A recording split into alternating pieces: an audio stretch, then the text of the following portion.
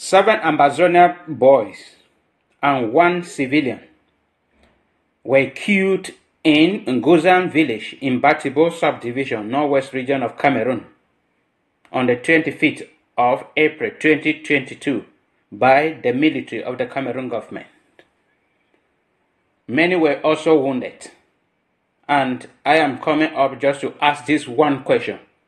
Is it possible for the Cameroon government to win or to end the Anglophone crisis militarily?